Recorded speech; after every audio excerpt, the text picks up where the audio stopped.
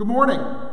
Welcome to our Central Cluster Reformation Day service. It is so good to be together as one church across our different congregations. You are most welcome, and we are so delighted to worship together. We are in for a special treat. We are so delighted that the uh, brand new, just elected the end of the summer, uh, Reverend Dr. Guy Erwin, who is the new president of the United Lutheran Seminary, in Pennsylvania, as well as the Ministerium of Pennsylvania Chair and Professor of Reformation Studies, is today's preacher. Thank you, uh, Dr. Erwin. We are so glad that you agreed to do this and uh, to get to welcome the new president into our congregations.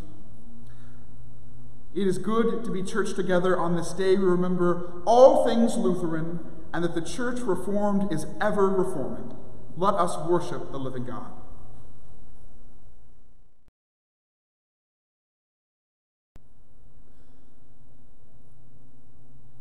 In the name of the Father, and of the Son, and of the Holy Spirit. Amen.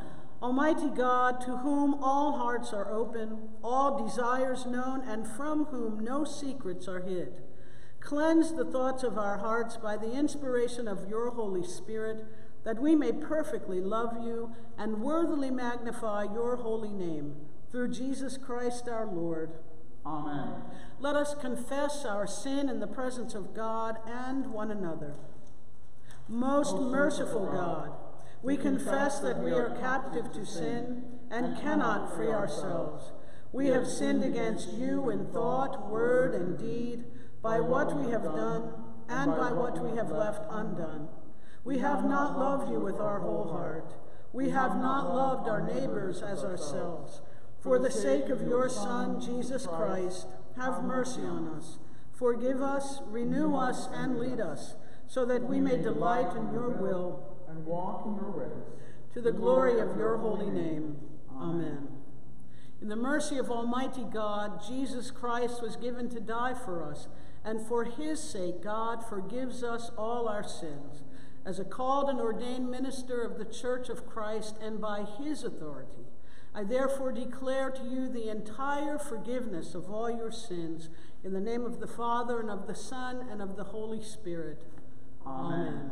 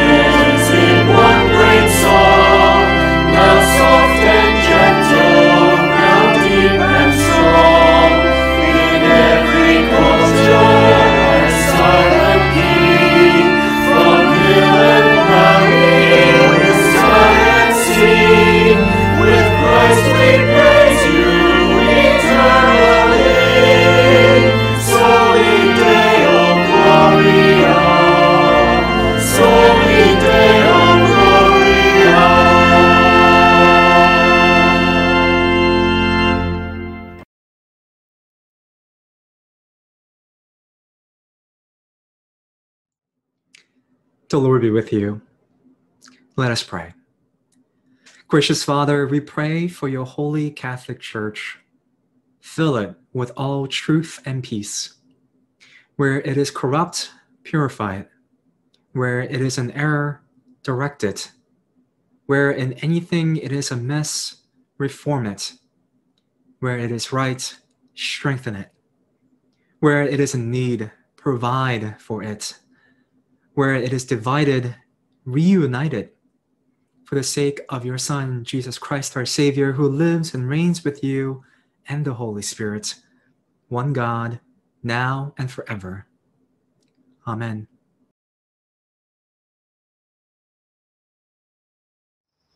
A reading from the prophet Jeremiah, from the 31st chapter, beginning at the 31st verse. The days are surely coming, says the Lord, when I will make a new covenant with the house of Israel and the house of Judah. It will not be like the covenant that I made with their ancestors when I took them by the hand to bring them out of the land of Egypt, a covenant that they broke, though I was their husband, says the Lord. But this is the covenant that I will make with the house of Israel after those days, says the Lord.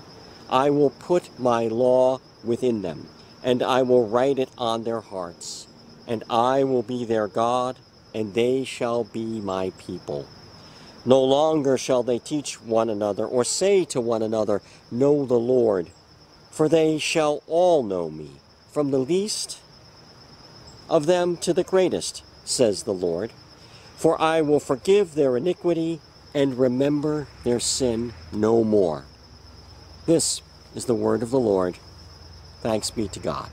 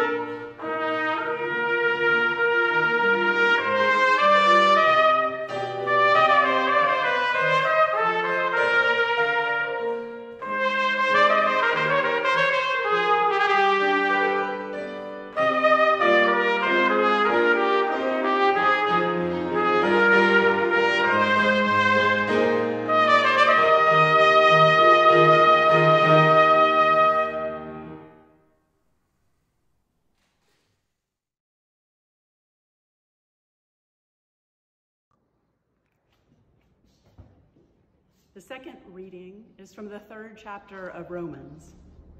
Now we know that whatever the law says, it speaks to those who are under the law, so that every mouth may be silenced and the whole world may be held accountable to God. For no human being will be justified in his sight by deeds prescribed by the law. For through the law comes the knowledge of sin. But now, apart from the law, the righteousness of God has been disclosed and is attested by the law and the prophets. The righteousness of God through faith in Jesus Christ for all who believe. For there is no distinction, since all have sinned and fall short of the glory of God. They are now justified by his grace as a gift through the redemption that is in Christ Jesus, whom God put forward as a sacrifice of atonement by his blood, effective through faith. He did this to show his righteousness, because in his divine forbearance he had passed over the sins previously committed.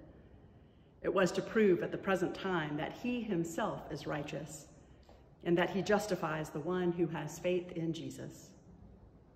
Then what becomes of boasting? It is excluded. By what law? By that of works? No, but by the law of faith. For we hold that a person is justified by faith apart from works prescribed by the law. The word of the Lord. Thanks be to God.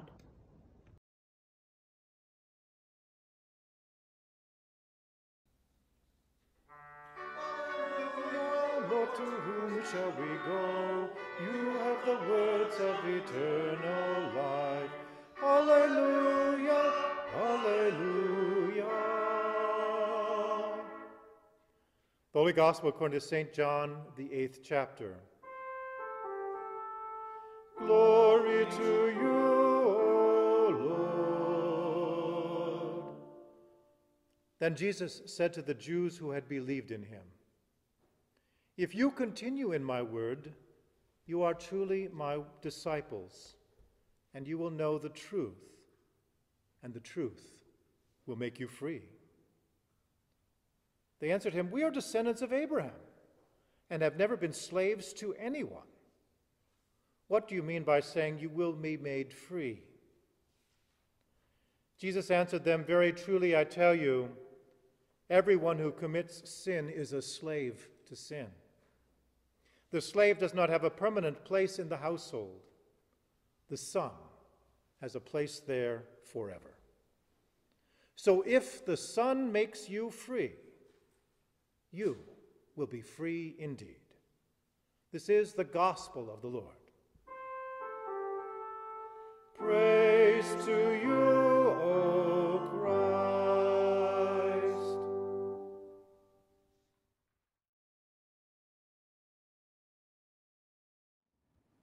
Dear friends in the congregations of the Central Cluster of the New Jersey Synod, grace to you and peace from God our Creator and our Savior Jesus Christ. Amen.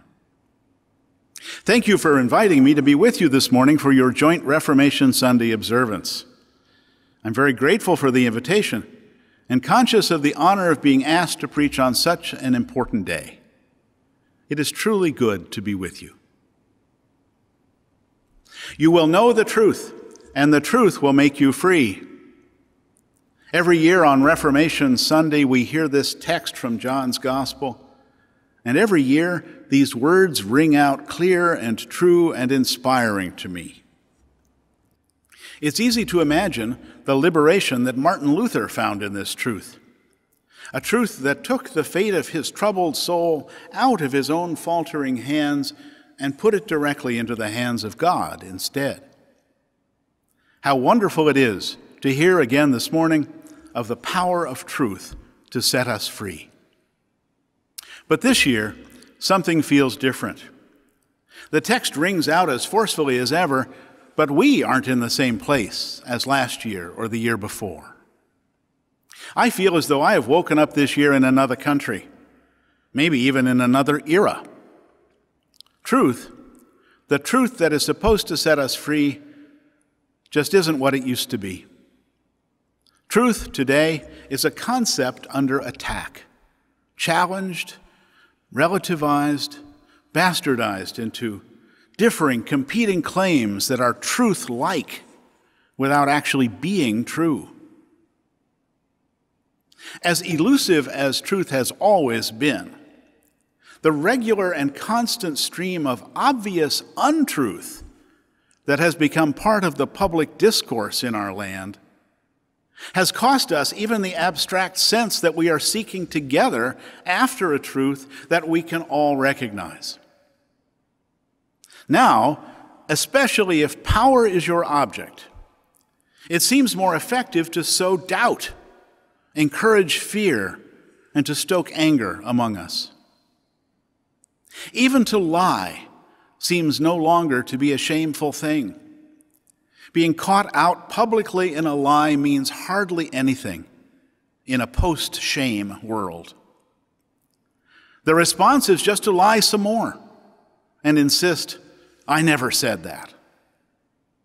In a post truth, non truth world, where is the freedom? Lost. What is there instead? Lies. Lies that enslave. Here's the corollary to Jesus' words this world has taught me. Lies enslave us. A culture of lies is a culture of bondage and oppression, in which evil masquerades as virtue and greed dresses up as prosperity, and misogyny and homophobia and racism are disguised as Christian faith. A culture of lies makes people think of themselves as victims, then exploits them in their victimhood and enslaves them to false fears, making them hate others for the threat they think they represent. Powerful lies capture weak minds and harden hearts. The truth will set you free. Jesus might just have well said, Lies will make you slaves. Why has this not been clearer to us? We have been so hopeful all these years, especially Americans, marinated in optimism and nursed on dreams of equality and opportunity. We have preferred to imagine that we are better than we actually are. We have looked on the bright side as our material wealth and personal agency and individual freedoms have grown. And we have overlooked the fear and anger felt among us by those who have heard the same promise that we have that life would be better in every successive generation, but who have not found that promise to be true for them. Some of us may share parts of that resentment. Martin Luther actually understood this better than I think we do.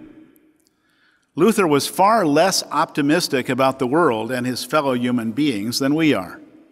He believed that the world was in the grip of the devil, the father of lies, who twisted human hearts and minds with fear and greed. Sometimes he even fell into the trap himself, as in his own irrational fears. But Luther knew that he lived in a world full of lies, a world he saw more clearly, perhaps, than we can see our own. And the biggest lie of all, at least for Luther, was the claim that some human beings held the power of salvation over others. Specifically, that the church, through its penitential system and the priestly power to forgive, literally held the keys to heaven in human hands to be used for human purposes. It was a reassuring lie, but it was a lie all the same.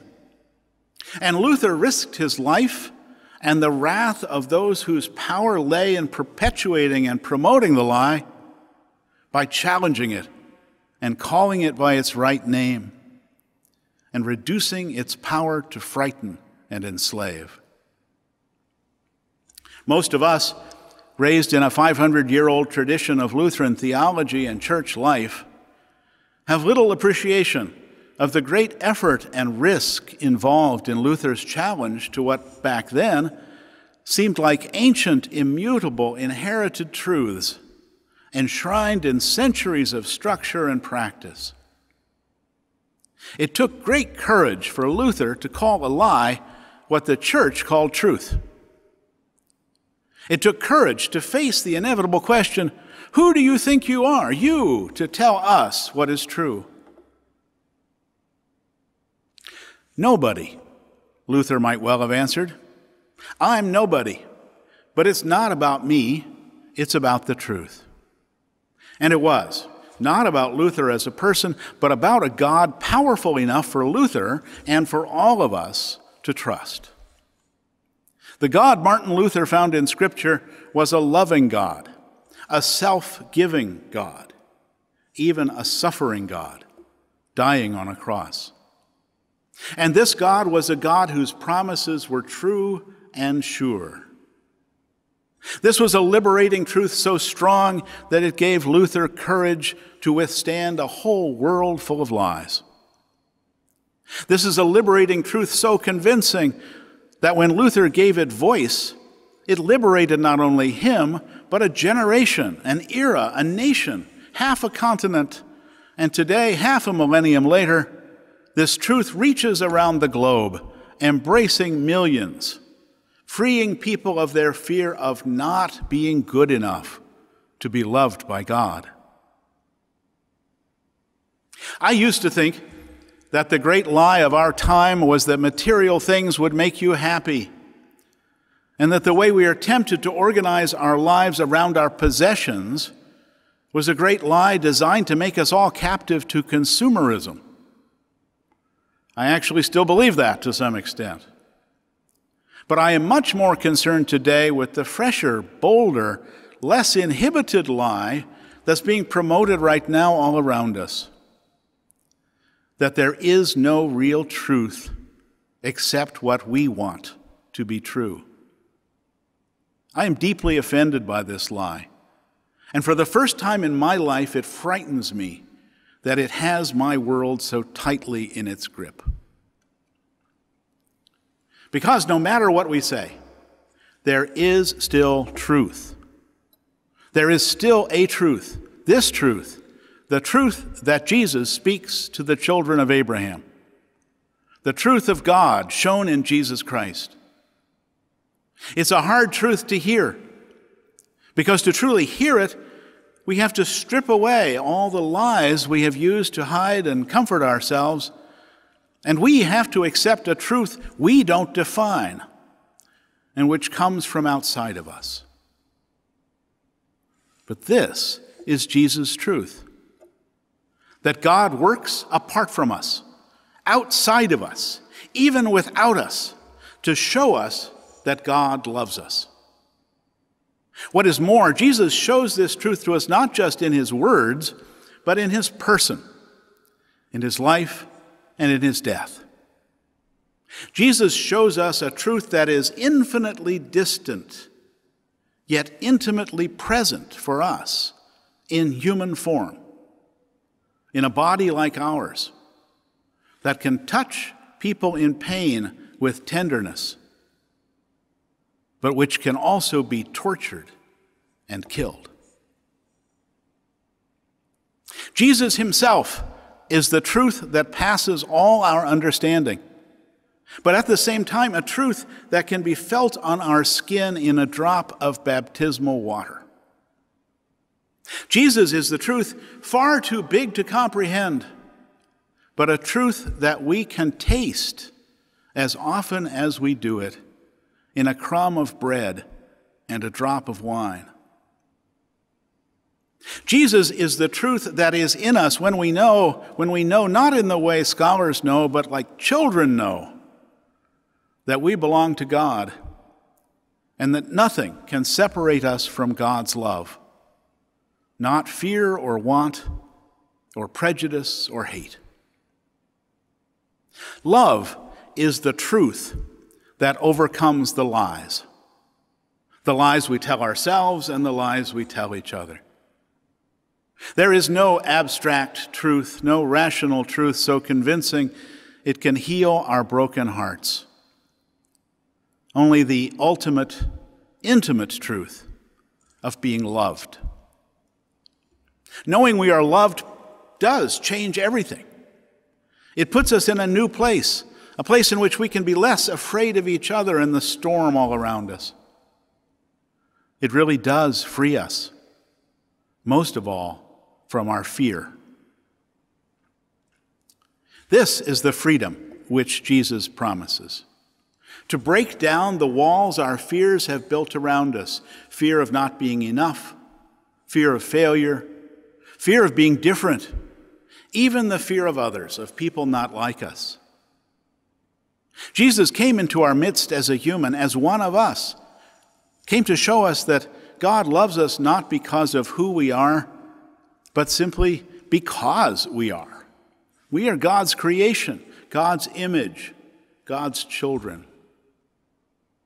This is what Jesus means by truth, and this is a truth that makes us truly free to know that we are loved by God. Amen.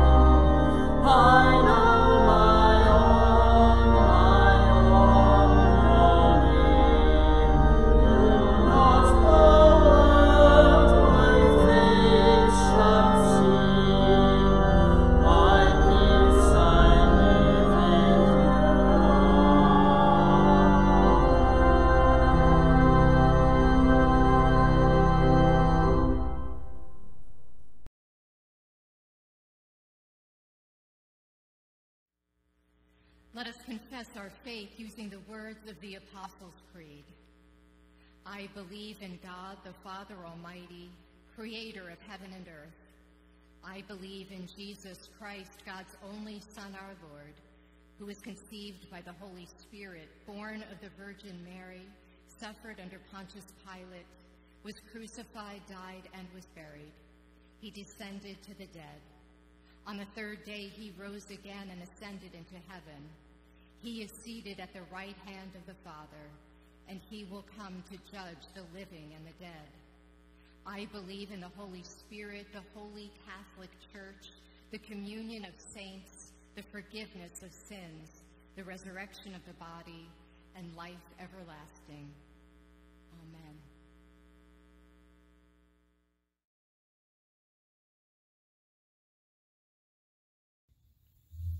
Let us offer our prayers now to God, responding to each petition with the words, Grant us your tender care. We pause together in a moment of silence.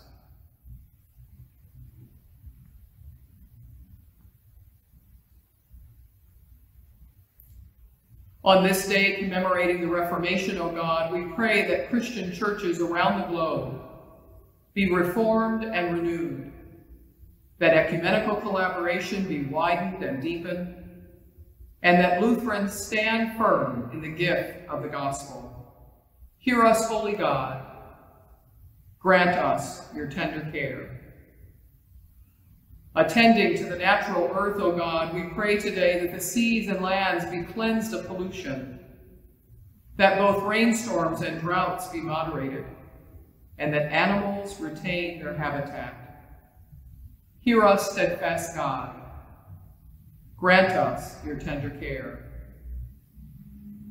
Aware of disorder around the world, O God, we pray that wars and armed terrorism cease, that violent extremism everywhere be calmed, that governments meet the needs of their poorest residents, that the days before our own election be peaceful, and that all prejudice based on gender, color, orientation, or ethnicity be rejected. Hear us, sovereign God. Grant us your tender care. Facing the coronavirus, O God, we pray that the pandemic and its anxieties subside, that medical personnel and services be everywhere supported, that any who are unemployed find work, and all who have been evicted find housing. And we pray that a trustworthy vaccine be developed. Hear us, compassionate God. Grant us your tender care. Moved by the needs of all of our neighbors, O God, we pray today for those suffering from discrimination, for those who are incarcerated or held in immigrant camps, for farm workers and their children, for all who are hungry, and for those we name now before you in our hearts silently.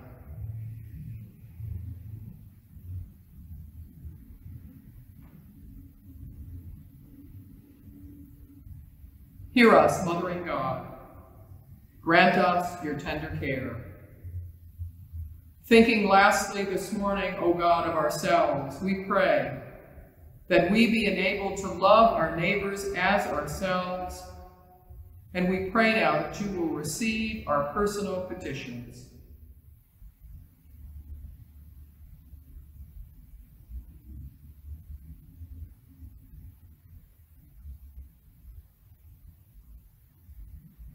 Hear us, loving God. Grant us your tender care. Grateful for the lives of all who have died in the faith, especially Martin Luther, and all the people whose efforts reformed and renewed the church, O God, we pray that at the end we join them in your glory. Hear us, eternal God. Grant us your tender care. Enfold in your loving arms all for whom we pray today, as we trust in your might and your mercy, through Jesus Christ, our Savior and Lord. Amen.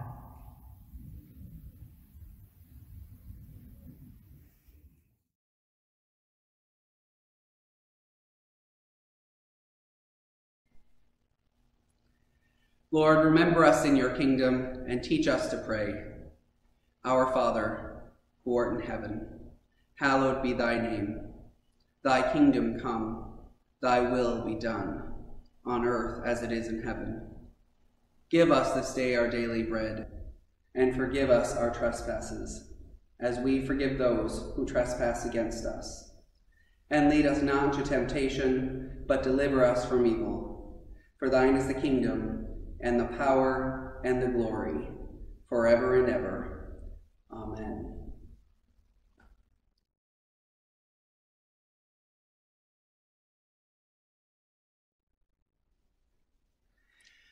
Well, now, dear siblings in Christ, this is the time in our service.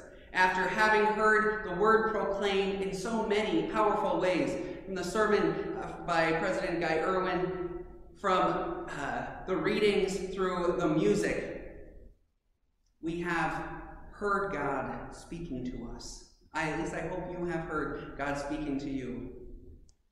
But now we're called to give thanks to God for God's abundant generosity in our lives. And we're called now, on this Reformation Sunday, even more so, to act boldly. Act boldly on behalf of others. Act boldly in response to God's amazing generosity. So, how are you being called right now to offer? To offer your gifts, your time, your talents, your resources to serve your neighbor, to do the works of justice and mercy that we are called to do. Maybe it's to continue to uh, give faithfully to your congregations, as so many of you have done, especially during this uh, time of uh, pandemic. Maybe it's to maybe it's to make a special gift to United Lutheran Seminary, so that we can our church can continue to raise up leaders to serve in congregations and communities. Maybe it's to make a gift to Lutheran Disaster Response, who is already has been working tirelessly to care for those people who have been devastated by the wildfires out west or the hurricanes down the Gulf Coast. Or maybe it's something else entirely. How is God calling you right now to act boldly, to offer your time, talents, and resources? Let us together give thanks to God. Amen.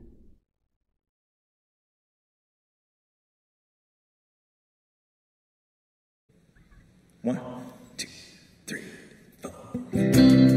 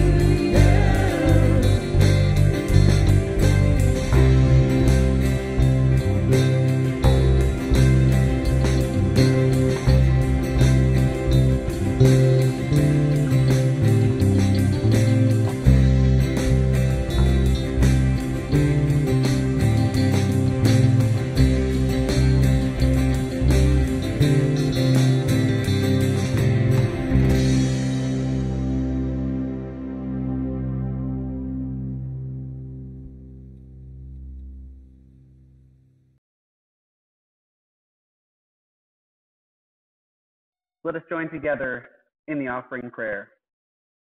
Let us pray. Merciful Father, we offer with joy and thanksgiving what you have first given us ourselves, our time, and our possessions, signs of your gracious love. Receive them for the sake of him who offered himself for us, Jesus Christ our Lord. Amen.